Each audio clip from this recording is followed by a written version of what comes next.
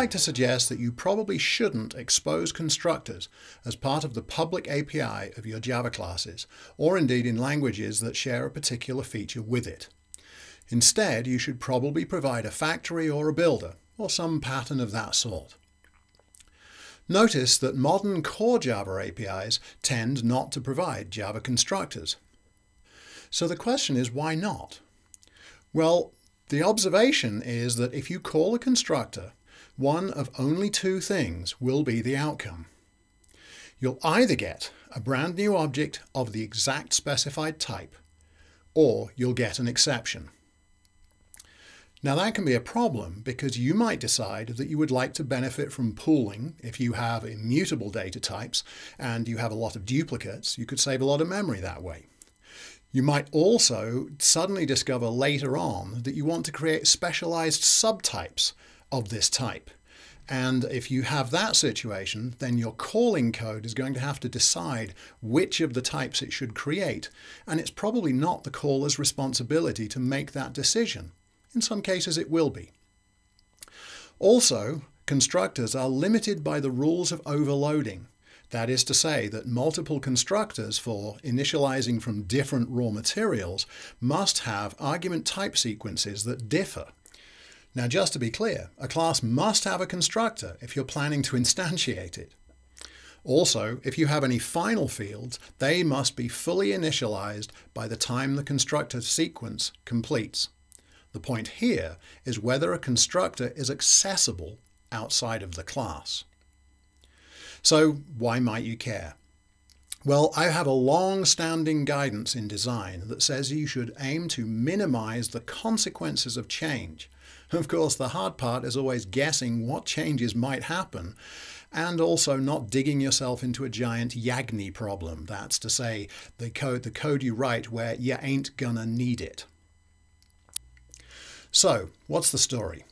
First, your initial requirements suggest that there's only going to be one type for some business domain class, and you haven't thought about whether pooling might or might not be useful, or you're not into immutable data, therefore it probably won't be. You write your class and you publish it with your constructor. Over time, your client code accumulates many constructor calls in many files. But then, if you want to change to a factory, enforcing the use of that factory, you've got a lot of changes to make. All of the constructor calls need to become calls to the factory. And even if you have a mechanical refactoring, these changes might cause merge conflicts.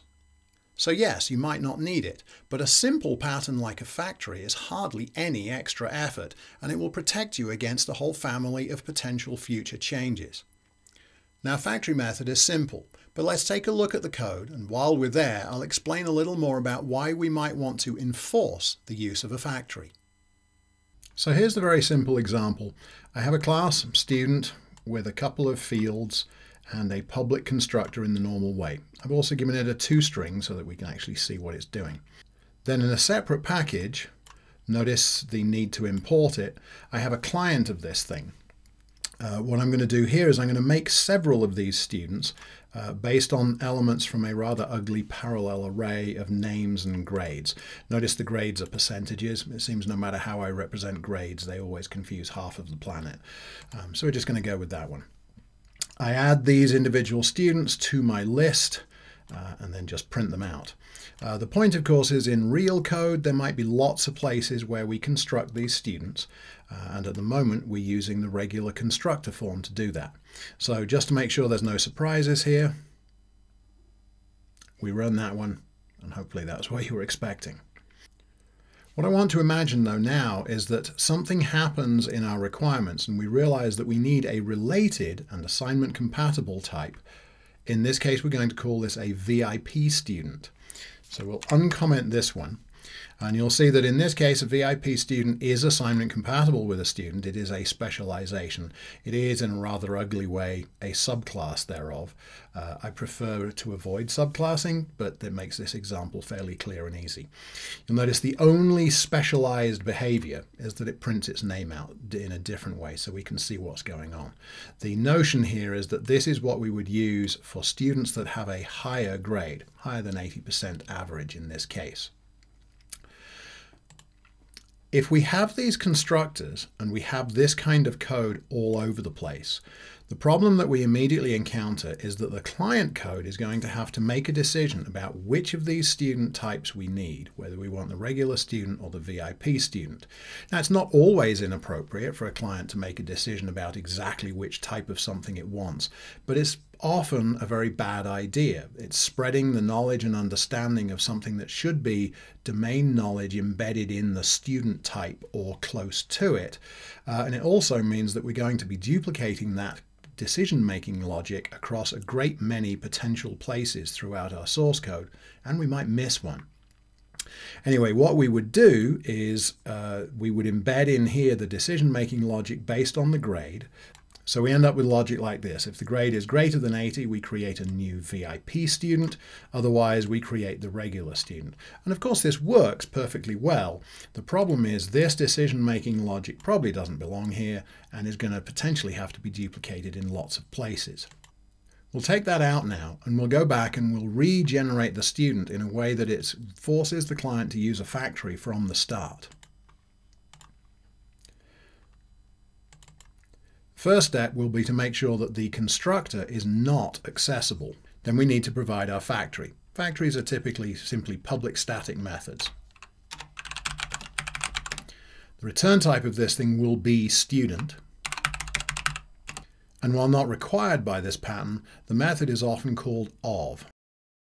If we were doing this in the very beginning, before we had any idea that we might need a subtype of this, we would simply say return new student. That, of course, means that our caller would never have been written to use the constructor in the first place because it's not accessible, but would instead have used the factory method. At this point, we see the code does the same as it did in the previous example when we just used the factory. What happens next, though, is that we go through that mental model of imagining that we suddenly decide we need a subtype, and that subtype needs to be created in specific situations, in our case that the grade is greater than 80. The decision-making logic here will be that we go into the factory and decide which of the two types to create. By the way, one other change I would have made is that the constructor in VIP student also would not be public. This would prevent the client from constructing one of these directly. So now our logic for deciding which type to make is going to be embedded in this factory in one place and hopefully in the one place we would look for it since it is considered, in our example at least, to be business logic related directly to the student. The client won't need to know about this. Now that we have that logic, and our client code was using the factory, we find that the client code gets the right type without any changes required, and also without any special embedded behavior in the client code.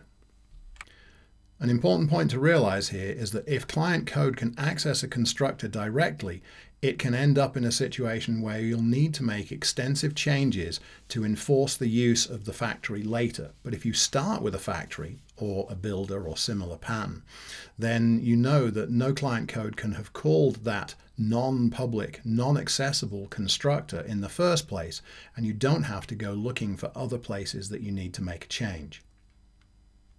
One observation to ponder is that I did not make this constructor private. There are ways you can go about making these constructors outright private, but it's probably sufficient to give them package or possibly um, protected access and ensure that they are limited in their accessibility. If you want them to be private, you can do it, but you have to work a little harder. So, the example illustrates potential benefits for avoiding accessible constructors in the situation where you later decide you need subtypes and you want the client not to have to make decisions about which of those types it needs. But don't forget the possibility of pooling too. If you're using immutable data, which is probably an increasingly common way of doing things for reliability, that can be a huge benefit as well. The idea of pooling for use with immutable data types can actually help enormously with memory if you have lots of duplicates of the same essential value of object. Notice this idea also applies to what I typically call runtime enums, or might otherwise be referred to as a form of flyweight. Now, implementation inheritance is generally accepted to be bad, and I'm inclined to agree with that. But it's still relevant if we have this kind of pattern using interfaces. And now, of course, we can have static factories in interfaces for this same reason. And again, notice how many more of the modern APIs in Java use this approach. For example, the entire package java.time.